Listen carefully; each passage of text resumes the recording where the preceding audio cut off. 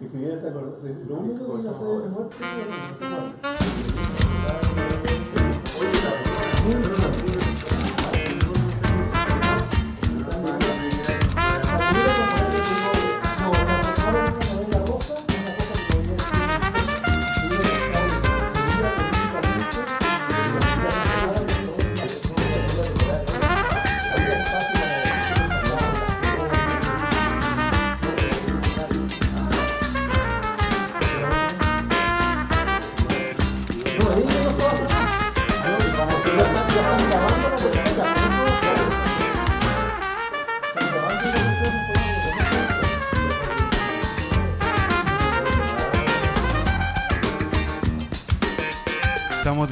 sobre la corona. La corona. No sabemos de, de quién.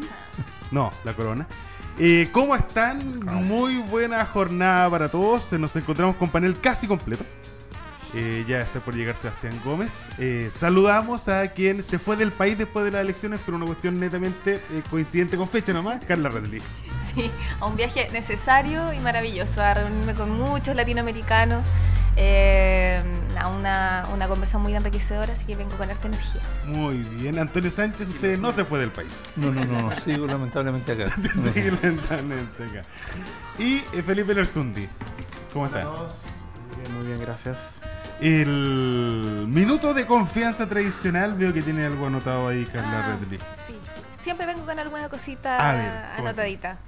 Sí, eh, en 1974, voy a contar una historia, pero no es muy larga. En 1974 se elaboró un documento que se llamaba Campaña de Control Psicológico Masivo, que fue elaborado por la Secretaría General de Gobierno de la época y que apuntaba a que cada vez que se mencionara al gobierno de la Unidad Popular o al marxismo se asociara en los medios de comunicación a palabras como violencia, represión, terrorismo, pobreza y todas eh, palabras de connotación negativa. Cuando leo las declaraciones del candidato Piñera, que las tengo esas, las tengo anotadas acá, cuando dice, yo veo que el candidato Guille está cada vez más violento, más demagogo, más populista, más errático y se parece cada día más a Nicolás Maduro, y dice él, yo me pregunto a dónde nos conduce ese camino, veo una similitud de estrategia para ensuciar o para asustar a la gente, eh, tratando de conducir las votaciones próximas que, a las que nos enfrentamos. Y yo les digo a los amigos que nos escuchan, amigos, ojo, el poder no triunfa cuando reprime, el poder triunfa cuando normaliza y cuando hace que los discursos que nos parecen normales se asimilen como solamente los posibles y nos quedemos entrampados en esas verdades o en esos relatos. Así es que ojo con los discursos, ojo con lo que se está diciendo.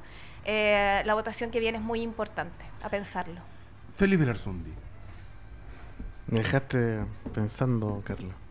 Bueno, mi minuto hoy día tiene relación con, con un sueño que queremos muchos y que tiene que ver con la proyección que le queremos dar a la región hacia, hacia el futuro, que tiene que ver con, en primer lugar, con la inclusión de todos los que habitan en el territorio por encima de, de aquellos que históricamente han planificado lo que sucede acá. Y cuando hablo de quienes viven acá, considero que es necesario incorporar en la definición de los destinos de nuestra región a los pueblos originarios, principalmente de la etnia atacameña, pero también reconociendo que existen aymaras y quechua en, en nuestra región. A ellos no les gusta ser llamados licanantay, prefieren ser llamados atacameños. Sí. Pero por lo mismo, y en eso, dentro de las dinámicas que se están dando hoy día en nuestro territorio, reconocer los procesos sociales y- que están viviéndose, especialmente en la ADI Atacama La Grande, donde el liderazgo de jóvenes dirigentes indígenas, tanto en el Consejo de Pueblos Atacameños como en las mismas comunidades y los AIYU, muchos de ellos profesionales que han retornado a poner a disposición el conocimiento y la formación que adquirieron en universidades tanto de nuestro, nuestra región, de nuestro país, pero también en, estudiando, haciendo posgrado en el extranjero, que vienen a poner a, a disposición del territorio y, y de sus semejantes eh, lo mejor que ellos tienen, que es el conocimiento para, para planificar. Ellos están hablando hoy día de un modelo de desarrollo, no están hablando de oponerse a un proyecto, que igual se lo hacen, pero no es eso el, el objetivo central de lo que están hoy día viviendo como un proceso social en, en el lugar donde viven. Están hablando de un nuevo modelo de desarrollo definido desde abajo hacia arriba, ¿ya? pero para darle sustentabilidad al lugar donde ellos han vivido por más de 12.000 años. Antonio Sánchez, su minuto de Eh, confianza. siempre voy a caer en el tema que yo más difundo, que es eh, la- el ámbito económico. Ayer se entregaron una nueva cifra de desempleo. Lamentar que Antofagasta sigue siendo el líder a nivel nacional y dos puntos por encima del promedio nacional, eh, 8,7, aun cuando bajó 0,2, eh, casi nada. Seguimos siendo la región que por lejos tiene la, mayor tasa de desempleo.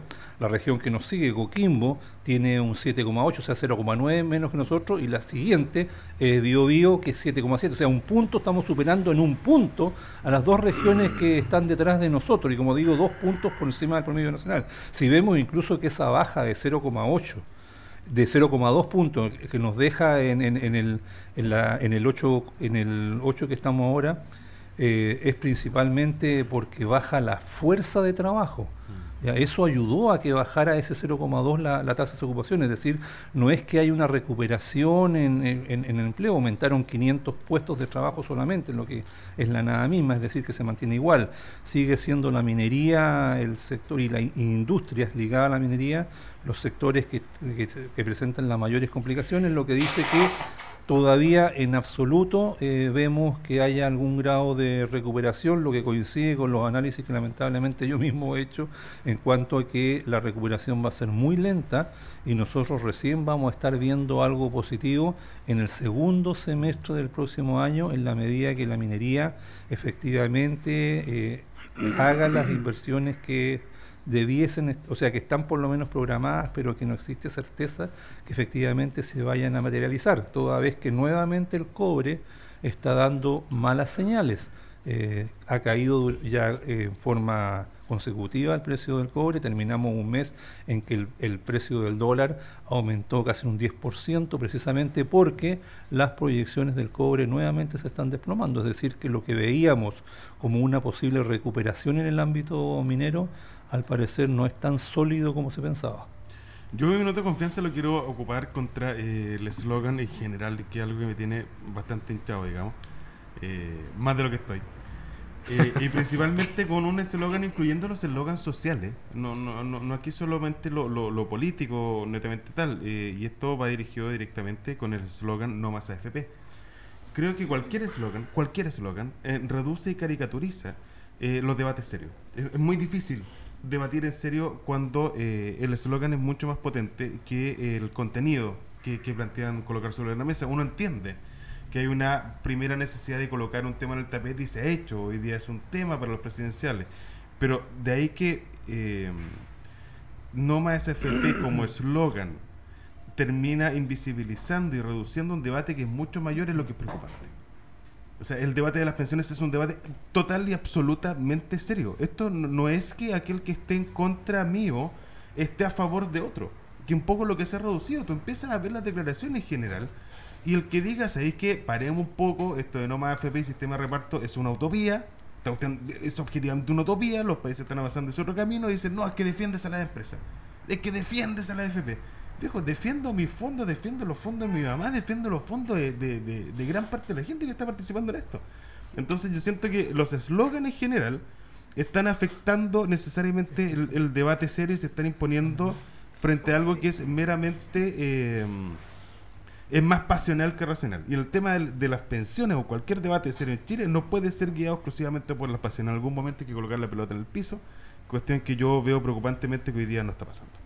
Seba Gómez, bienvenido en su minuto de confianza. Bueno, y minuto de confianza, hoy bienvenido, a, o sea, saludo a todos los auditores. Bienvenidos. Hoy vengo en la cabeza de, de la Vine con cine, resaca. Que Es más o menos todavía desordenado. Eh, No, pero es egocéntrico. ya, arruinaron, arruinaron a mi mi- minuto. Bienvenidos a mi espacio. espacio. Le, arruina- le arruinaron el minuto. No, sí, ya. y a ver, ¿qué es lo que era? Pues, a ver, ya, haga, haga memoria. No, Gracias una- por la bienvenida, pequeña- No, ya está troleo así. ya.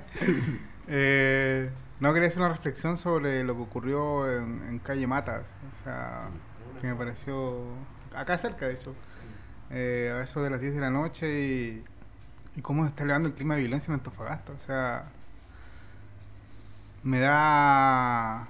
Me da un poco de tristeza cómo, cómo está volviéndose un. Estamos saltando yo creo un poco rápidamente hacia lo que es efectivamente una ciudad industrial y, esta- y estas peleas que, se dan en la calle, que antes era, era- un fenómeno que no se veía tanto, o sea, por lo menos me da la impresión que el índice de violencia está subiendo, no, no sé si, si, si, si hay una, una estadística que pueda avalar esta idea, pero pero creo que, que hay que empezar a, a tomar el tema por, por la, por la asta, o sea, ya te, tuvimos el caso del, del, del- ¿cómo se llama? del anciano que fue Limpio para abrir, digamos que. Claro, que fue, que fue ultimado con, con un palo.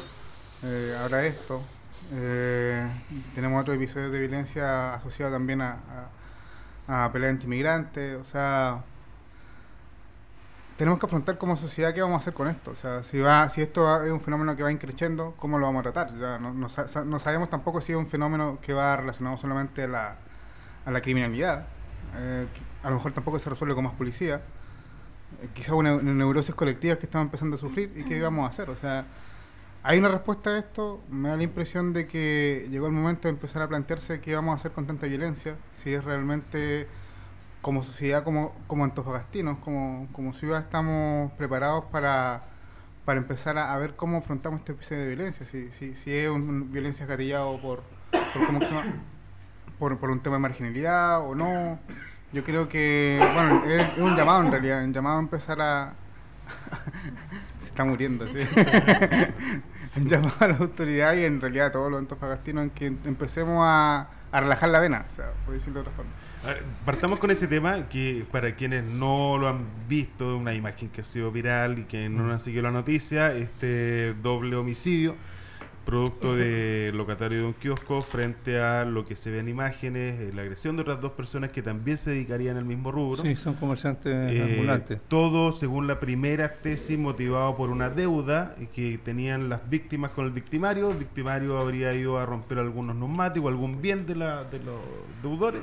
Estos después llegan a increparlo al, al kiosco, que es donde comienza el video que muchos seguramente han visto en YouTube. Desde ese momento es, es que comienza esta discusión y termina con eh, dos víctimas fatales. eh, con una imagen además bastante violenta, más Sí. allá del, del- de lo violento que es quitarle a otra persona. El- la riña se, se, se desenvuelve en tonos muy, muy, muy agresivos.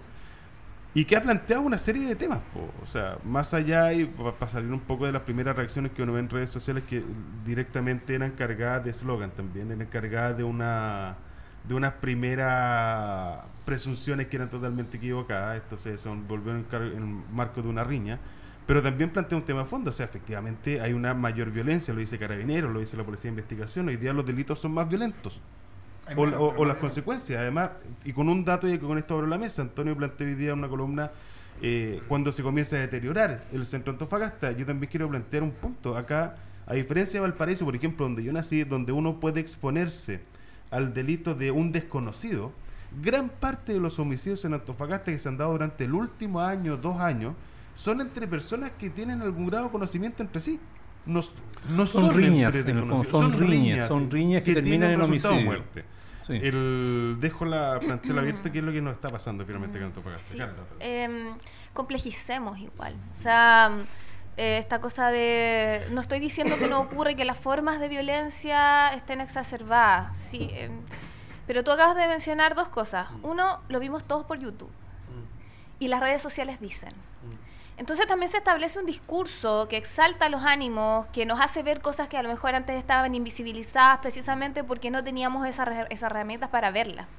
Y entonces entramos en un efecto telenovela. ¿no? Estamos todos como una telenovela respondiendo también a un discurso normalizador, que es un poco lo que decía anteriormente en el Minuto Confianza, y que dispone de algunas ciertas verdades para el escenario y clima que estamos viviendo. No desconozco que eh, efectivamente hayan formas que a lo mejor desconocíamos, pero yo no sé si eso eh, está ocurriendo solamente ahora, bueno, hay índices, si hay índices policiales, bueno, eso Sí, es, un, sí, es sí. un indicador claro, pero, pero también eh, tratar de idealizar el tiempo pasado y decir que esto no sucedía solamente porque no lo veíamos también es un riesgo. A ver, hay, hay cifras duras que pueden decir que esto no sucedía y que ahora sí sucede. Por ejemplo, la cantidad de homicidios. ¿ya? Efectivamente, o sea, situaciones como esta que terminan en un homicidio eh, era mucho menos frecuente con anterioridad. La población era menos también. Pero es, una, efectivo que los grados de violencia en el actuar delictual son mayores. Es una cuestión, yo creo que, no sé, yo lo hemos conversado en varios, varios periodistas me han entrevistado al respecto también por ser representado en la Cámara de Comercio y estar en el centro hay una cuestión también de carácter cultural. Hoy día los medios de comunicación, el cine, eh, difunden escenas de una violencia inusitada. Hemos visto que algunos delitos que se cometen en el país muchas veces son copiados de imágenes que han visto en algunas películas, algunos, algunos delitos se hacen imitando acciones que hace el héroe del cine, el héroe de la televisión, y los jóvenes, algunos se, se ven influenciados por ese accionar, y vemos, por ejemplo, los lolos estos que en Santiago actúan como eh, guardaespaldas de, grupos eh, de narcotraficantes, y los narcotraficantes dicen que por qué ellos reclutan jóvenes, porque dice que ese joven... Eh, razona menos, piensa menos y actúa en forma mucho más violenta que lo que haría una persona mayor. O sea, porque claro, están abusando de alguien que todavía está en desarrollo y que no tiene todavía eh, todo su pensamiento. Eh, los grados de violencia, cuando uno ve a los delincuentes actuar en el centro, yo jamás, por ejemplo, te diré hace 20 años atrás, habría visto que un delincuente enfrentado a carabineros le sacara cuchilla, lo enrostrara, los golpeara eh, cuando un delincuente antiguamente era sorprendido por carabineros, él inmediatamente se entregaba dócilmente, o sea, sabía que ya estaba superado. Pero hoy día no, el delincuente se enfrenta a carabineros, muchas veces armado, no le tiene temor a la, a la acción de la, de, en general de, la, de las policías, lo mismo con la, con la PDI, por lo tanto hay grados de violencia mayor que tendríamos que como sociedad analizar por qué eso está sucediendo. Yo creo que hay mucha influencia de la educación que se recibe a través de medios de comunicación. No significa eso que uno esté pensando en prohibirla, pero tal vez tendríamos que actuar en la educación en contrario, de enseñar que esas son fantasías o son cosas que no deben ser asumidas como realidades a imitar. Eh, no sé, o sea, yo expongo los hechos que creo que, han facilitado o que, están eh, colocando situaciones como esa en cuanto a que efectivamente hay más violencia y en todo ámbito. Allá yo creo que no solamente en este actor delictual, cuando lo vemos los, las denuncias por eh, violencia intrafamiliar, eh, acciones eh, en general, puede ser, como dice Carla, que a lo mejor hoy día nos enteramos más de cosas que antes no, no nos enterábamos. ¿Ya? Pero son una serie de elementos que hay que analizar. Yo creo que lo colocar un punto. ¿ah?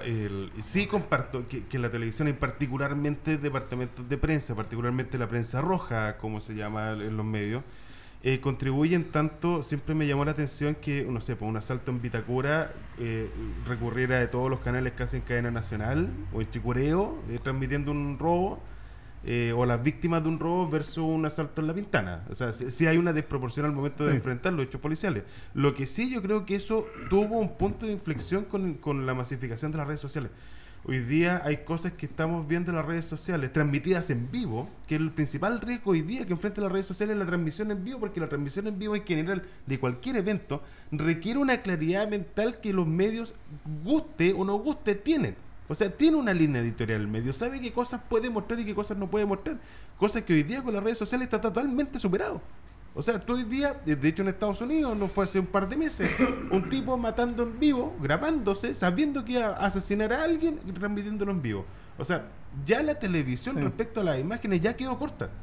Respecto a la realidad que se transmite, que jamás se ha transmitido, o al menos esperemos al corto plazo, digamos por un medio de comunicación. Pero volviendo al, tema de la violencia, eh, Antofagasta es un centro chico. ¿Qué es lo que a mí me llama la atención? Es, no es algo que tú digas, sabes que son 30 cuadras a la redonda, de ahí que requiere una presencia policial brutal. Tú sabes dónde están los puteríos, tú sabes dónde venden droga, que afuera los puteríos, y tiene un rango de cuadras súper limitado. De ahí que uno se pregunta qué, qué, está fallando o, o por qué se ve incontrolable algo que en primera instancia, al menos en la preventiva, no se ve tan difícil. Se va como es Felipe Lersundi. Felipe Lersundi. No, el, tema de la, de la, violencia, yo creo, yo creo que más por el lado de, que tenemos mayor acceso a, ver eh, y, e identificar imágenes de violencia explícita asociadas a estos tipos de, de delitos. Porque yo recuerdo que cuando era chico, bueno, no, no, nacía acá en Antofagasta, pero en el barrio en que yo vivía, día domingo, volviendo de misa en la mañana, con mi mamá, de repente una pelea terminaba con un vecino muerto. No, yo no vivía en la legua, no, vivía en, en La Pintana, en una población de emergencia, sino una, en, una, en un sector tradicional de, de- de la comuna de Tomé, donde efectivamente habían episodios de violencia y a veces ocurría este tipo de cosas. Recuerdo más de uno de los muchachos que, que, que siempre se decía cayeron en desgracia. Y era porque habían cometido un delito o incluso algunos un asesinato. ¿ya? Y esto no quiere decir que, que en el... Pero nosotros no lo veíamos. Nosotros no lo, no, no- no lo teníamos, no teníamos la capacidad de hacer clic y 5, 6, 10 veces volver a ver el, el, el video y dentro de nuestra cabeza perturbada con todas las otras imágenes que uno tiene acceso tanto en los noticieros, en las películas, Netflix. Hoy día antes para poder ver una película tenías que ir al cine. 30 años atrás, 40 años atrás, tenías que ir al cine. Después apareció Blockbuster, después apareció el, el TV Cable, llegó el TV Cable y después Netflix, etcétera. Hoy día tienen Netflix, YouTube, las redes sociales. Y eso te genera también un índice de victimización mayor, que no es coincidente, por ejemplo, con los números que de delitos efectivamente producidos. O de temor. Y eso, y de temor también. Por ejemplo, recuerdo el, el caso de, de un, de un conocido que contaba que su abuelita estaba muy asustada porque temía que le ocurriera un portonazo. La señora no tenía auto y vivía en un, en, Un departamento. en un departamento. Entonces, el- pero ella estaba preocupada porque le podía ocurrir un portonazo. No, decía, pero abuela, mi- vives en un departamento, no tienes auto, ¿en qué momento te va? Ah, sí, es verdad, pues, no, no- no me va a pasar. Entonces, creo que esto tiene que más bien con el que ver con el sens- sensacionalismo. Por un lado, a ver, no quiero bajar el perfil a, los- a los delitos Sí, y a los los, crímenes. homicidios ocurrieron. Ya, los homicidios ocurrieron. No quiere decir, no quiere decir que y que van a, tampoco que van a dejar de ocurrir. Pero creo que más bien lo que estamos eh, evidenciando ahora es mayor familiarización con este tipo de delitos, ya que, o sea, todos vimos el puntazo que le pega prácticamente en el cuello al, al- al caballero. Y eso eh, es como uno no ve el cuchillo, pero al saber las consecuencias posteriores, se imagina todo lo que pasó. La imagen tú cuando ves, no ves el, el, la- el- el- el filo brillar al- al- a, la, a la imagen de la cámara, pero sí, después tú, al saber las consecuencias te vas imaginando todo. Lo Ahora recordemos que desde que desde que aparece el arma hasta que se produce lo- los primeros ataques, es una situación que pasa muy rápido. Es muy O sea, rápido. estos son 20 segundos, Es muy rápido. 30 segundos. No, yo iba a preguntar si alguien vio el puntazo que se le dio a Fulvio Rossi. Eh, no, una, una sola cosa, cuando yo hablo del efecto telenovela no tiene que ver con, con la recepción que nosotros hacemos del- de, de este tipo de producción, tiene que ver con que nosotros estamos insertos en un efecto telenovela. Cuidado, Felipe. Y lo otro, el factor droga. O sea, lo que decía también Sí, sí, Antonio sí, de estos sí. soldados, bueno, eso hace bastante perder la cabeza. Y tenemos una gran generación de personas que han crecido con la inserción de la droga cada vez más fuerte en nuestras poblaciones y eso también tiene algo que decir. ¿no? Volvamos a una pausa y vuelve Seba Gómez con este tema. No, pero-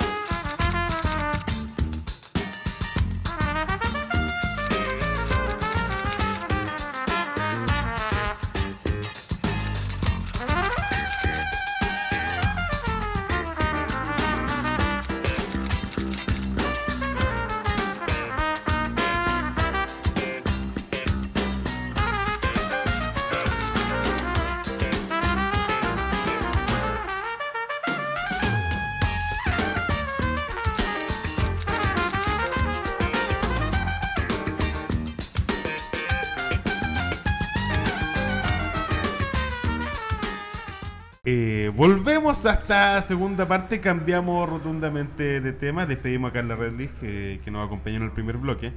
Eh, yo quiero hacer un llamado a todos a que no estoy diciendo que escuchen esta radio, pero les estoy diciendo que no escuchen ninguna otra. Un poco si pudiésemos hacer el símil a lo que es el Frente Amplio, digamos, que fue este este llamado, no llamado respecto a Guillermo, principalmente ellos plantean que eh, no quieren votar por eh, Sebastián Piñera, que la gente vaya a votar, pero lo que no implica votar por Guillermo es que es cómico porque hay dos opciones nomás. De hecho, ayer veían, se- escuchaba en Santiago una entrevista a uno de los dirigentes del Frente Amplio y le preguntaban, decía, ya, ¿usted va a ir a votar el 19? Así como, cabrón chico, sí, voy a ir a votar, ya. ¿Por quién voy a ir a votar? No voy a votar por Guillermo. Cantinflas No voy a- era más claro para hablar, ¿o? Decía, no voy a anular, ni, no voy a anular, ni, de- ni dejar en blanco, pero no voy a votar por Guillermo. Le decían, entonces usted va a votar por, o sea, no voy a votar por Piñera, decía. Y le preguntaba al periodista, entonces usted va a votar por Guillermo. Él decía, no, yo no voy a votar por Piñera. Y es como... Ni lo uno ni lo otro, sino que todo lo contrario. Yo, yo cuando veía eso decía, estaré, yo estaré entendiendo mal. Yo, yo me hice la pregunta, dije, ¿y estaré entendiendo mal? Y ya cuando empiezo a ver las reacciones, claramente esto fue un... Fue matar al padre, fue no matar al padre, que lo hablamos la semana pasada, ¿o ¿no? Seba Gómez.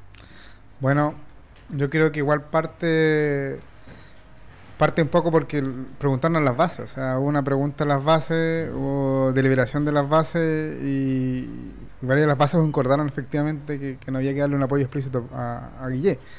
Eh, bueno, se da, se da en la interna de repente democráticas que, que las bases no siguen a los líderes.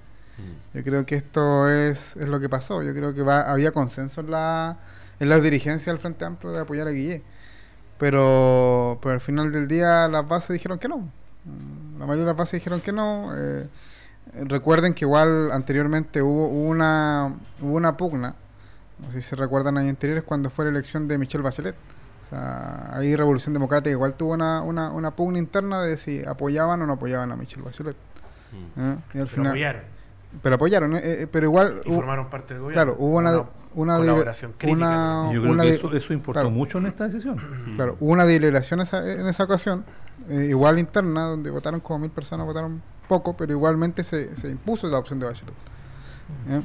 Yo creo que en esta ocasión le jugó en contra, o sea, ellos pensaban igualmente que se iba a repetir el mismo fenómeno, varios estaban ya, eh, Sebastián Dépolo, igual por ejemplo, igual estaba apostando a la colaboración con Guillé abiertamente, pero las bases le jugaron en contra. Y entonces, ¿cuál fue la salida de las dirigencias? O sea, respetamos las bases, ¿cómo hacemos para apoyar y no apoyar a la vez? O sea, apoyamos pero no lo nombramos. Y esa fue, y esa, y esa, y esa fue la salida yo creo que, que se dio. Pero Ahora yo creo que fue, fue un error en tanto de... O sea, si tú hubieses tenido una multiplicidad de opciones, te compro. Nosotros estamos en contra de alguien, pero cuando la, la otra opción es una, no, no, no... e- Es un enredo lingüístico, un cantinfleo que, que llama la atención. Yo ya está... A ver, la base del Frente Amplio sabe perfectamente lo, que- lo que esto iba a generar. Tanto en la prensa y los análisis. Sabían perfectamente que, que, que Chile Vamos lo iba a tomar como un triunfo y como una derrota a Alejandro Guillermo. Sabían perfectamente todos sus alcances, si no son blancas palomas, digamos. Esto estaba totalmente eh, gatillado, o sea, esto se sabía el alcance, se sabía que esta ambigüedad respecto al apoyo de Guillermo, yo, yo el otro día lo comentaba, es el es lo que pasó con Meo. Es cuando Meo llamaba a votar por el candidato, ¿te acordáis? Del treinta y tanto por El ciento. 29%. Del 29%. Sí, pero aquí es bastante peor porque resulta que Meo no tenía los 20 parlamentarios que tiene el Frente Amplio, y por lo tanto la responsabilidad política es totalmente distinta. Eh, creo que están demostrando nuevamente ahí una falta de liderazgo para una opción que en algún momento pretende tener la presidencia del país, porque yo como eso de dejar en libertad de acción, si la libertad de acción ha existido siempre, Sí. porque tú vas a una urna con un voto secreto, entonces decir te dejo en libertad de acción, oye, si la libertad de acción la he tenido siempre, dime cuál es tu liderazgo. ¿Qué es lo que tú propones? Entonces yo tendría que o sea, eh, votemos por Guillé o no votemos por Guillé, porque yo demuestro mi liderazgo y obviamente que quien me escucha verá qué es lo que hace. Pero eso de hacer esas declaraciones que, como te digo, Cantinfla era más claro para hablar, creo que lo demuestra una vez más, eh, ahí en ese tipo de cosas demuestran la falta de experiencia política, la falta de liderazgo que tienen que asumir en ciertos momentos. Ayer esa discusión que hubo entre eh, Gabriel Boric y la señora Giles, por ejemplo, cuando ella le enrostró en una, en una entrevista de prensa respecto de que inmediatamente oponerse a participar en un gobierno. Y le dijo, bueno, ¿y qué sucedería? Ella le dice, como ironizando, obviamente, le dice, ¿qué sucedería, por ejemplo, si eh, Guillén le dice que eh, Gabriel Boric va a ser el ministro de Hacienda y, y Beatriz Sánchez va a ser la ministra del Interior? Nos negaríamos igual? ¿Por qué nos, ella lo que deja, lo que está diciendo con eso es que tú no puedes a priori Mm. negarte a una conversación cuando existe a lo mejor la posibilidad de asumir un rol mucho más importante y, y, en definitiva avanzar en mis ideas. Y entonces esa respuesta que, que le da Gabriel Boris, que, que, que yo lo encuentro dentro de lo normal, pero algunos inmediatamente aducen a temas de feminismo, pero efectivamente en ese tipo de cosas es cuando demuestran que todavía no tienen la experiencia política suficiente y un cierto grado de infantilismo, como lo dice la señora Giles, en cuanto a, muchas de sus actuaciones. Felipe Larsunde, ¿hasta qué punto sirven 20 diputados o toda una base? Yo, yo tengo mis dudas si que efectivamente es una base frente amplista o una base que canalizó el descontento. Pero ¿hasta qué punto sirve esa cantidad parlamentaria, ese poder político, si es que no hay disciplina? Mm. Ver, primero quiero decir que el, el Frente Amplio es libre y soberano de decir lo que quiera. Independiente de que uno esté de acuerdo o no, ellos son, son libres de, de determinar de acuerdo a los procesos que ellos quieran, pero también, y por lo mismo, se les debe exigir responsabilidad de las consecuencias de, de esas decisiones que toman en libertad. El, hacer un llamado a, votar por Guillermo implica necesariamente una disposición a formar parte de un gobierno. De hecho, mi partido, la democracia cristiana, ya determinó, la presidenta, la ex candidata presidencial, Carolina Goich, incluso ya entregó su apoyo explícito al, senador Guiller, pero eh, nuestro partido aún no ha decidido el, el participar de un eventual gobierno de, de, Alejandro Guiller. Y eso va a ser parte de la definición ante un eventual, y yo creo que va a ganar Alejandro Guiller. Eh, y eso va a ser una de las cosas que va a decidir nuestro partido en, eh, en la Junta Nacional del mes de enero. Es una de las misiones que tiene que por definir. Por lo tanto, acá hay un apoyo explícito por parte de la democracia cristiana. Reconocemos nuestra estrepitosa derrota en, en la elección tanto presidencial como parlamentaria. Y ponemos, nos ponemos a disposición el apoyo de Alejandro Guillermo. Pero eso no significa automáticamente una disposición a participar del gobierno de él. Por lo tanto, eh, esta indefinición del Frente Amplio, no, como que ellos trataron de disfrazarlo de que un apoyo hoy día implicaba futuro participar del gobierno, como que era un canje. Hoy día estamos, vamos a apoyar a cambio de que nos den un ministerio, a cambio de que nos den presencia en algunas eh, bajadas, qué sé yo, subsecretaría, cosa que no era lo que estaba precisamente en juego. Y coincido bastante con Antonio en el punto de que esto demuestra, efectivamente, un grado de, de inmadurez y la política es el arte de ponerse de acuerdo, es el arte de gobernar, pero consiste, en ponerse de acuerdo. Y el ponerse de acuerdo te exige ceder en algunas cosas, en reconocer que fuiste derrotado, porque fue un 20%, si bien es bastante superior a las expectativas que ellos mismos tenían, pero te dejó tercero y, te, y aquel que pasa segunda vuelta es el que obtuvo un voto más que tu 20%. Teniendo la... la... Pero el programa inclusivo... Ah, ya, dale. Sí, porque tú me preguntabas que qué peso Sí, va a tener el, el, el, el 20%. O sea, mm, yo ya veo que el 20%... Estamos viendo las diferencias que hay al interior del Frente Amplio. Este emplazamiento de, papel, de Pamela Giles al diputado Gabriel Boric, llamarlo comisario político, deja tu rol. Somos, de somos iguales, le dijo. somos iguales, deja el rol de comisario político. ¿Ya? Eso es hoy día a través de redes sociales.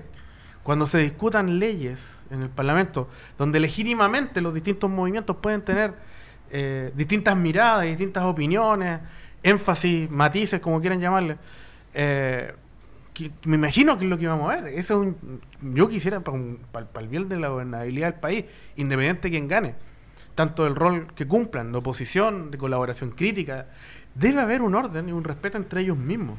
¿Ya? Y eso también es un espectáculo que no están dando solo ellos. ¿ya? Y en eso debe ser sumamente autocrítico. Mi partido también está dando un espectáculo penoso a través de redes sociales con declaraciones.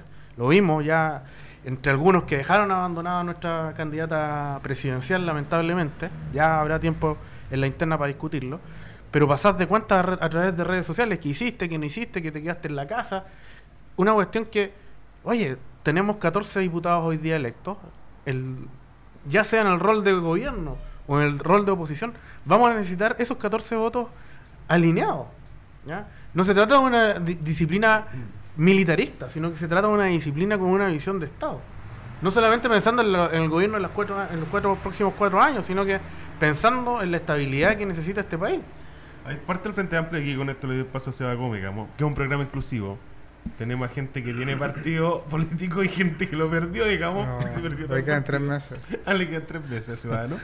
El, el Frente Amplio Te me han también. troleado todo el día, que no vengo más a Están programa. echando- están En echándole madera me tratan mejor. Están echándole sal a la herida. y No, acá principalmente el Frente Amplio también. No te pasa por llegar tarde. Me llego más tarde, nunca más. He aprendido. Dicen algo que es bien cierto y dicen, ojo, tampoco nos pasen la cuenta al Frente Amplio por... Al final lo que quieren plantear si la nueva mayoría pierde por culpa de la nueva mayoría. O sea, acá hay un hay un voto que, que se perdió. O sea, los porcentajes que hoy día tiene frente al Frente Amplio es producto que se dejó crecer al Frente Amplio por, por precisamente no el sector, digamos, de derecha, por el sector de, de centro izquierda. ¿O no se va a comer? Sí, se dejó la puerta entreabierta y entró el gato. Eh, no, quería igual retomar un poco el tema que a lo mejor cuando somos muy críticos con el Frente Amplio nos olvidamos que, en realidad estamos en presencia de algo que no habíamos visto hace tiempo, que es un modelo de cómo funciona la interna del partido. Estamos acostumbrados siempre a la verticalidad en, los mandos, en que se elige una directiva que representa los intereses del partido y hay juntas cada tres, cuatro años donde se, se deciden ciertas matrices. Eh, y estamos viendo, y yo lo, yo lo viví porque es un tema, de, ustedes igual deben haber visto cuando estaban en la universidad, de, de este asambleísmo que se manifieste, que los líderes finalmente tienen que, tienen que seguir al, al conglomerado y no al revés. Yo creo que el Frente Amplio está en esa lógica y, y- y- estamos en presencia de cómo funciona esa lógica en la política, no quiero decir real, porque la universidad igual es política real, sino en la, en la política abierta a la sociedad, la, la gran política. Entonces, estamos viendo, claro, que, que efectivamente en esta, en esta situación a lo mejor no funciona tan bien el asambleísmo. ¿Mm?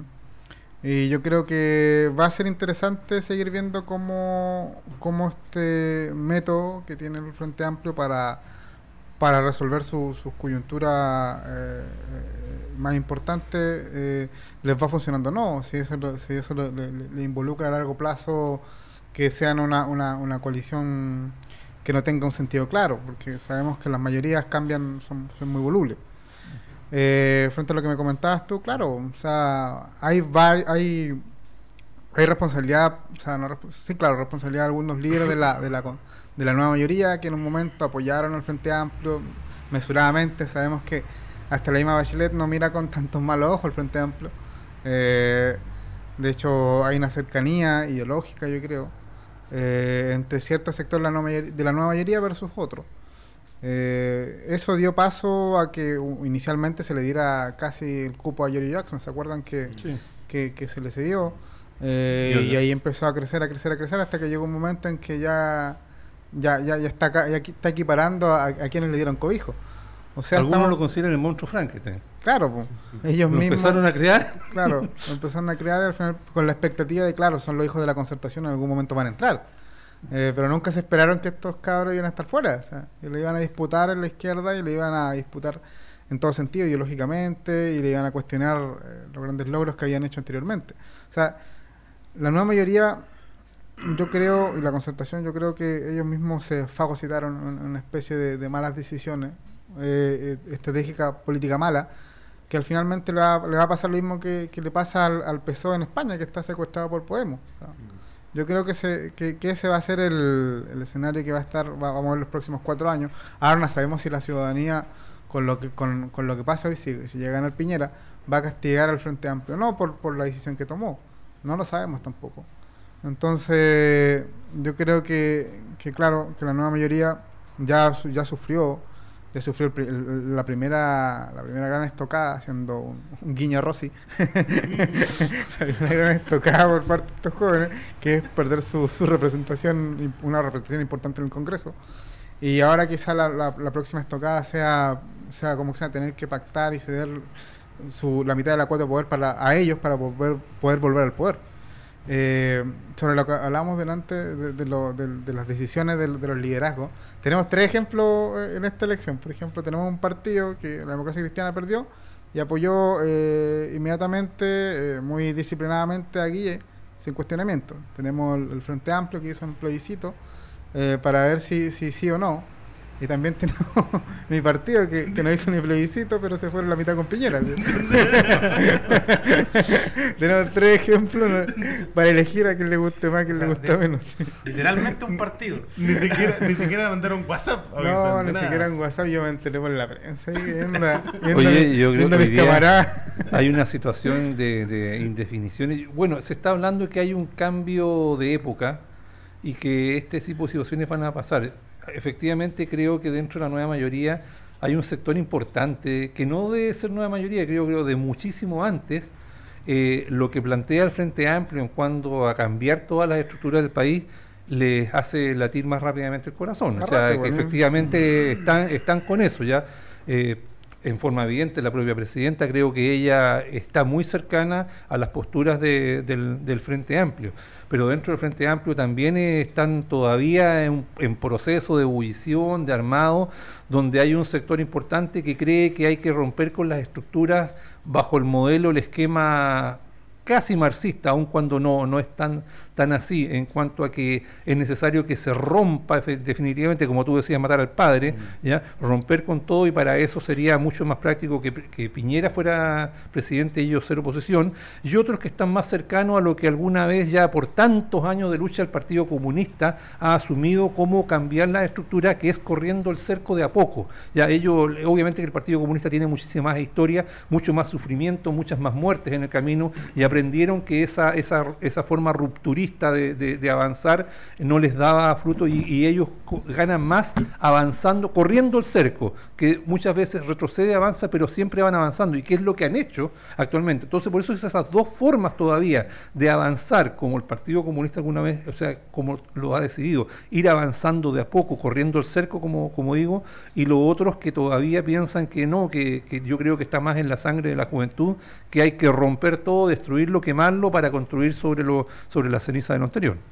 Ahora hay, nos enfrentamos a tres fuerzas políticas pues, y al final volvemos a la misma lógica de, de quien vaya a gobernar en realidad va a encontrarse con dos oposiciones. O sea, independiente de quien salga electo eh, presidente, van a haber dos oposiciones y eso plantea un escenario que yo no sé si es tan nuevo en Chile. O sea, sí desde la vuelta a la democracia, pero no, no. La lógica de tres tercios no. no En todo caso, di- di- divide e impera, ¿no? A lo mejor hasta, hasta puede ser hasta Pero es que no es tan notorio el tema de los, do- de los tres tercios hoy día. Yo creo que hoy día la derecha se ve por lo menos con una, un apoyo bastante más importante que lo Sí. que tuvo históricamente. Sí. Y lamentablemente, o sea, yo una de las cosas que encuentro más eh, deplorable, lo, lo más hor- lo más malo que no pueda estar pasando, es esa pérdida de la democracia cristiana, del centro político, eh, del que también alguna vez lo compartió con el Partido Radical, que era mucho más, más de centro y, otros movimientos que existieron en algún momento. Eso, eso lamentablemente se han ido debilitando. eh, y, polarizándose cada vez más, más la discusión. Creo que eso es lo más triste que lo que puede estar pasando. Felipe Larzundi. Sí, bueno, eh, Aludido a la democracia cristiana. aludí a la democracia cristiana. No, es parte de nuestro de nuestros errores nomás y hay que asumirlos como tales. El, hay un cientista político, Mauricio Morales, que es de la democracia cristiana, él, o cercano al menos al partido, hizo dentro de sus análisis hizo las proyecciones previas y recomendó no llevar una lista parlamentaria de forma solo, o sea, llegar a un acuerdo, porque según sus modelaciones íbamos a sacar 14 parlamentarios. Y lo más suave que se le dijo por los líderes del partido que era un estúpido que revisara su- sus números porque no, no- no tenía ningún asidero, según ellos. Y hoy día vemos que efectivamente, bueno, los números están para eso, para analizarlos y, y al menos efecti- lo- más allá de eso, suponte, en nuestra propia región No, pero- demuestra que son malas decisiones internamente, más que del tema de la lista. Sí, no, ¿Ya? pero no estoy, estoy de acuerdo. Si acá perfectamente podríamos haber sacado un diputado como, de hecho, Sandra Berna, con la votación que tuvo solamente en el LOA, hubiera ido el candidato a diputado, hubiera sacado, no sé, mil votos más el resto de la región, y con eso teníamos un diputado. Bueno, pero son, son errores y los que hay que hacerse de cargo. La responsabilidad política que tiene la directiva por algo también renunció. ¿ya? Pero tampoco veo una alternativa en la disidencia en ese sentido de, de poder cambiar las cosas, porque la alternativa que plantea la disidencia era, era prácticamente entregar todo para... en el fondo no, no, no, no marcar los puntos desde probablemente este momento histórico que estamos viviendo, que ya no estamos hablando solamente de concertación versus eh, Alianza por Chile, sino que estamos hablando de Chile Vamos, estamos hablando de Ciudadanos por otro lado, estamos hablando Ya, ya de no. Frente Amplio. Yo no iría tan lejos. Pero, pero por ejemplo, yo, yo- quería volver a un punto que, que me quedó dando vuelta, porque esto ayer creo que mostró, ah, es algo que no me gustó. La vocera de la posición del Frente Amplio fue Beatriz Sánchez, exclusivamente Beatriz Sánchez. Por lo tanto, la sensación que me quedó es de que el Frente Amplio, o los jerarcas por llamarlo de cierta forma, decidieron correrse hacia atrás y dejar que sea ella el rostro y quien asuma el costo político de la decisión Sí. de la ambigüedad que están teniendo. Eso tiene otro nombre en otras partes. Sí, puede ser. Y creo que liderazgos como el de Gabriel Boric, el de Jorge Char, de Giorgio Jackson, de Miguel Crispi, de otros dirigentes del Frente Amplio, de los partidos del Frente Amplio, uno debería esperar mucho más de ellos porque son ellos los que están buscando posicionar sus ideas para a, fu- a futuro hacerse cargo del país y dejar que la, presi- eh, la candidata presidencial sea quien asuma exclusivamente el costo político, que yo creo que no sabe que está haciendo, Usado. está pasando por eso. A ella no se da cuenta, porque viene de un mundo que no tiene que ver con eso, no se da cuenta de que va a ser ella la que va a pagar el costo político. Y, y- y con eso yo quiero ir a unos bastantes años más atrás para ver lo que pasó acá en Chile en los años 70, el año 73. Y ver también lo que pasó con Revolución Democrática en el gobierno Sí, me chileno. acuerdo ese año. Cuando las cosas empezaron, cuando se empezó a, com- a- a- a complejizar el ser parte del gobierno, cuando dejó de ser popular o dejó de ser, eh, desde el punto de vista electoral, al, al menos a decir de las encuestas que hoy día están fuertemente cuestionadas, ellos se retiraron del gobierno. Fueron parte de, en cargos críticos, tanto el Ministerio de Hacienda como el Ministerio de Educación, donde uno de los caballitos de batalla, cuando las cosas se empezaron a complicar, ellos se mandaron a... Abandonaron el barco. Y quiero compararlo con lo que hicieron movimientos radicales el año 73 con el MIR. El MIR, que pasó de ser parte de la Unidad Popular, después en uno de sus congresos decidió ser oposición al gobierno de Salvador Allende, pero el mismo día, 11 de septiembre, ellos volvieron a ser eh, parte del gobierno, jurando lealtad al compañero presidente. En el momento más difícil, la gente del MIR, ¿ya? A quienes, por quienes yo puedo tener miles de millones de diferencias, pero por quienes ese coraje hoy día hace que, que yo les tenga mucho respeto y además por lo que me enseñaron, me han contado mi papá y, y mis tíos. No lo vemos hoy día en estos movimientos, en en estos movimientos que surgen ho- hoy en día. Que a la primera, a la primera complicación, dan un paso al costado, se esconden, en vez de dar cara, como decimos en la población, de dar cara a los problemas y enfrentarlos como corresponde. Seba Gómez esboza una sonrisa. No, no, es que hacía gracia porque. No, Piñera no es Pinochet tampoco. eh, no, no se parece tampoco, ve más chiquitito, bracitos cortos. No, no hay por dónde, no, no tiene Eh, parecido. Es, eh, va a haber un costo que pagar eh, Seba Gómez, pero Claro, si efectivamente está haciendo el rostro, el, el- el aval de una decisión política que tiene cierto Siempre hay resultado, ¿no? costo, pero. Pero igual la engrandece a ella que, que, que esté dispuesta a asumirlo, como el gran Ricardo Lagos, que igual asumió sus Yo, costos. Felipe, yo no sé si está tan, tan clara ella misma Claro, no sé. rol que está asumiendo. No sabe, pero pero una se deja llevar por la por la ¿cómo se llama? Por la marea. No, bueno, pero bueno, no sabemos tampoco si lo sabe o no, si estamos presumiendo y a lo, sí. a lo- a lo mejor- a lo mejor lo sabe, está hablado y, y, y ella igual juega un rol clave a lo mejor en la próxima elección, a lo mejor tampoco en la presidencial, entonces quizá quizá esté jugando a, acomodar porque oye, a todo esto quería hablar de que cuando hablamos del Frente Amplio de repente nos olvidamos que son un montón de conglomerados. Sí. Eh, 14. mu- muy diferentes entre ellos. O sea, Vlado, por ejemplo, Vlado y Milosevic, ¿qué, qué estará pensando? Que prácticamente es como la derecha del Frente Amplio. O sea, y, y sé, y sé de, muy, de muy buena fuente que, que, que el Partido Liberal ya, ya, ya está mirando con malos ojos al Frente Amplio, o sea, al, resto de sus compañeros, que, que son de tendencia muy de izquierda. Entonces, ¿cuánto va a durar ese pacto? Ya sabemos que el Partido Humanista con Pamela Giles ya empezó también a, aquí a... a- a- a- De hecho, Blado fue candidato a diputado por la Alianza por Chile en, Por Chile, por, tiene, fue candidato en, en Quilicura, creo, Ah. en No, y el pa- 2009. Y el Partido Liberal igual tuvo una presencia aquí, o sea, antes en realidad se llamaba el Chile Primero. Ah, claro. Donde Él fue, fue por Chile primero. donde sí. fue candidato eh, Slaine Portilla. O sea, está, está hablando que hay una, una historia bien, bien rara, pero es una evolución de un partido político igual, que, que partió quizá muy jugando al, al- al- a la Realpolitik. Se ha hablado obviamente un sobreviviente, o sea, sabemos que este cabro, eh, eh, su construcción política partió de cero. Bueno, o sea, Mayol. Mayol indicaba en sus redes sociales, eh, eh, independiente de la decisión del Frente Amplio, que él iba a apoyar a Guillermo y todo el tema. O sea, hay una fricción Pero diciendo que iba a apoyar a Guillermo, pero aceptaba la embajada en Corea en del Norte. Corea del Norte, claro. Eso Ahora, ironía. recordemos que, recordemos que Mayol fue el primero que advirtió que acá el negocio de Jackson y compañía... No, Mayol de ninguna manera, o sea, esa fue una ironía que Sí, de, sí, de sí. ninguna manera, si él lo advirtió antes de, ya que Sí, lo que estaban jugando algunos era eso, ya a, a conversar con la nueva mayoría, pero yo creo, insisto, que par- al parecer están ganando los sectores que insisten en que es mejor de afuera. Mm. ya por, por lo, lo que te decía la experiencia de haber estado al principio con eh, eh, con eh, Bachelet y haberse dado cuenta que eso más bien les restaba que les sumaba para lo que ellos pretenden ser en algún momento por lo tanto eh, la opción creo que la mayoría, a pesar de que los dirigentes, como ustedes dicen, se dan cuenta, porque los que han estado en el Parlamento, los que ya han Sí. asumido eh, lugares de, de poder dentro del Estado, se dan cuenta que las cosas tienen que ser conversadas.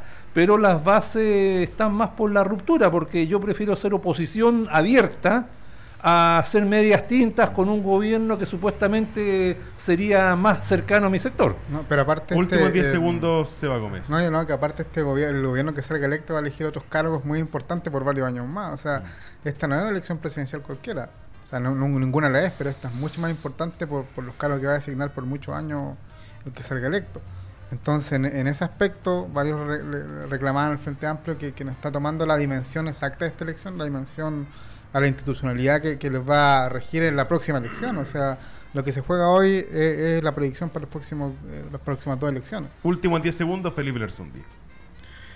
No, eh, solamente creo que esto que se está jugando hoy día no, no- no es el fin del mundo. No, la elección, la segunda vuelta no, no, Pero puede ser el inicio del fin. no, tampoco. O sea, si vendrán gana co- Piñera, vendrán cosas peores. ¿Eh? Si dice la Biblia, vendrán cosas peores. Si gana Piñera, a lo mejor. No, eh, creo que no, no, no nos estamos jugando ni el volver a, a la época de la Unidad Popular ni, ni, ni a, la dictadura. Eso creo que es necesario dejarlo claro. Pero sí, eh, aquellos que creemos que, que, el, que el futuro de nuestro, de nuestro país tiene que mirar nuevamente la historia, eh, es necesario entrar a jugar roles dentro de lo que, de lo que viene. Y esos roles, yendo paso a paso, corresponden tomar definiciones en la elección de segunda vuelta.